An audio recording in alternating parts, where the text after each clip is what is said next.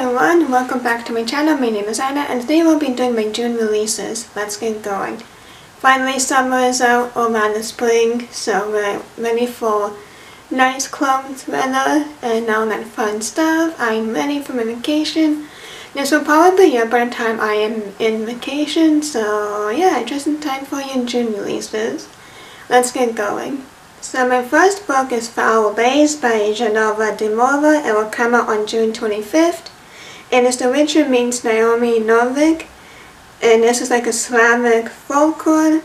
As a witch in the walled city of Chernograd, Kosara has plenty of practice taming rusalkas, fighting Kikimoras, and bringing lycanthrope when pillaged. There's only one monster Kosara can't defeat, her ex, the Zmey. Known as the Toussaint of Monsters, she defied him one too many times, and now he's hunting her. Betrayed to him by someone close to her, Kosara's only hope is to trade her shadow, the source of her powers, for illegal passage across the world to Belograd, where monsters can't follow. That sounds exciting. Belograd reminds me of Belgrade in Serbia. I wonder if she did it on purpose. My next book is Of Jade and Dragons by Amber Chen. It will come out on June 18. 18-year-old Ao Yang dreams of becoming a brilliant engineer just like her beloved father, but her life is torn apart when she arrives a moment too late to stop his murder, and was. It lets the killer slip out of reach. Left with only a journal containing his greatest engineering secrets and a jade pendant snatched from the assassin, Yang vows to take revenge into her own hands.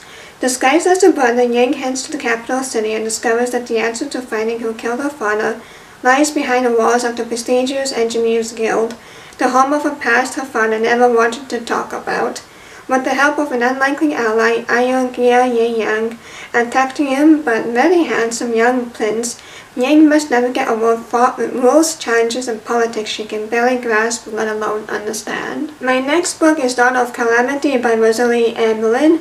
It will come out on June 18.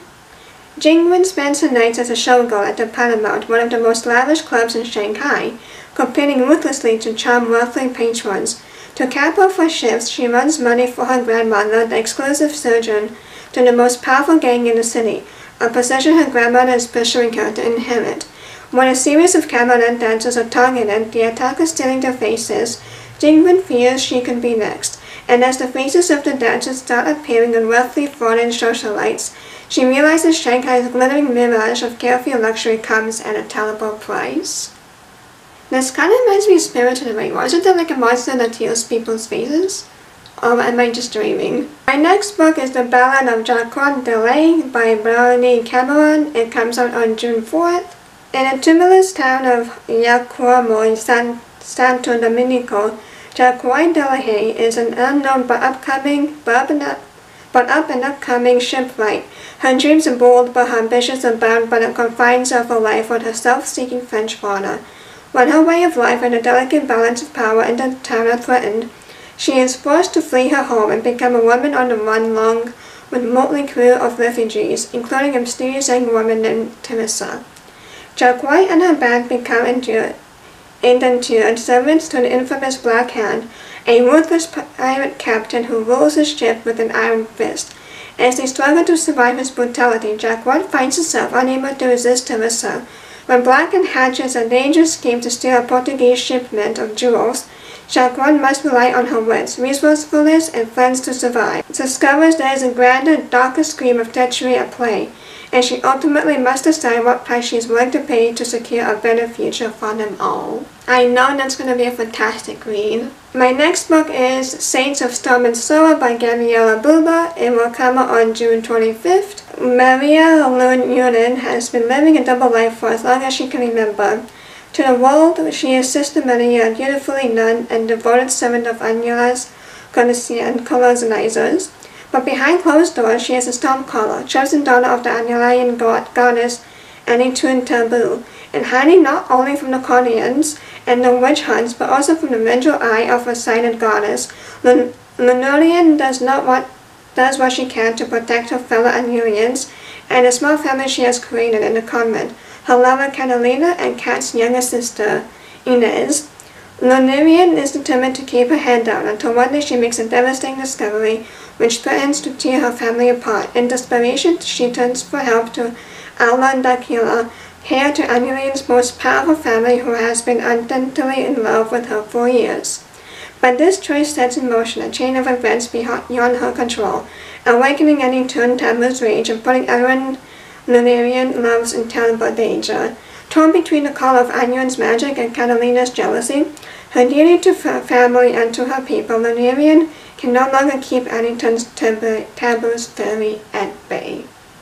That's why you never make things up from the past. My next book is Running Close to the Wind by Alexandra Rowland. It will come out on June 11th. Avra Helvaci, former field agent of the Honesty Ministry of Intelligence, has accidentally stolen the single most expensive secret in the world, and the only place to flee with a secret that big is the open sea. To find a buyer with deep enough pockets, Avra must ask for help from his on-again, off-again ex, the pirate captain Tevri as Afan. They are far from happy to see him, but together they hatch a plan. Take the information to the isolated pirate republic of the Isles of Lost Souls. Fence it, profit. Only things in the way, a calculating new honesty ambassador to the Isles of Lost Souls, who got his eyes on Avra's every move. Brother Julian, a beautiful, mysterious new member of the crew with secrets of his own, and a frankly inconvenient wife of celibacy, the fact they are sailing straight into sea serpent breeding season and almost certain doom. But if they can find a way to survive and sell the secret on the black market, they will all be as wealthy as kings, and more importantly, they will be legends. That sounds so cool. My next book is The Wilderness of Girls by Madeline Claire Franklin and will come out on June 11th. After being placed in foster care, Ree is hungry for a fresh start and begins working at the Happy Valley Wildfire Preserve. While in the woods, she stumbles upon a surreal sight, a pack of wolves guarding four feral and majestic girls.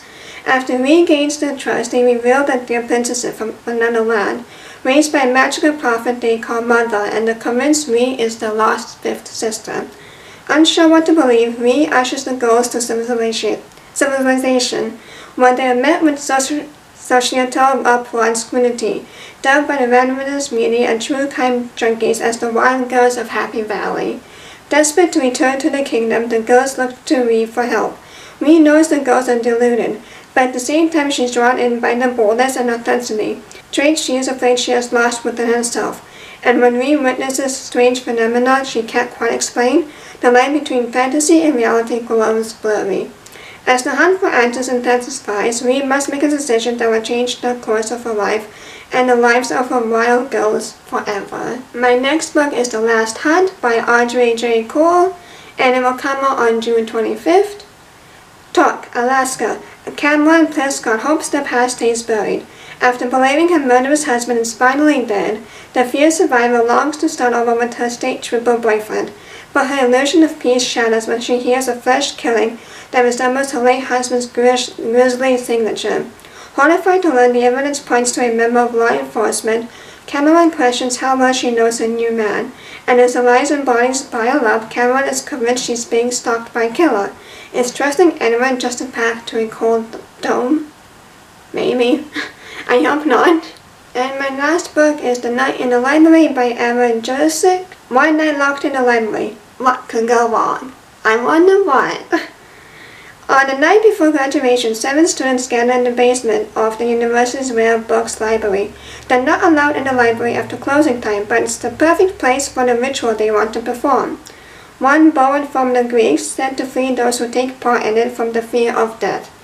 And what better time to seek the wisdom of ancient gods than in the house than in the hours before they were scattered in different directions to start their real lives.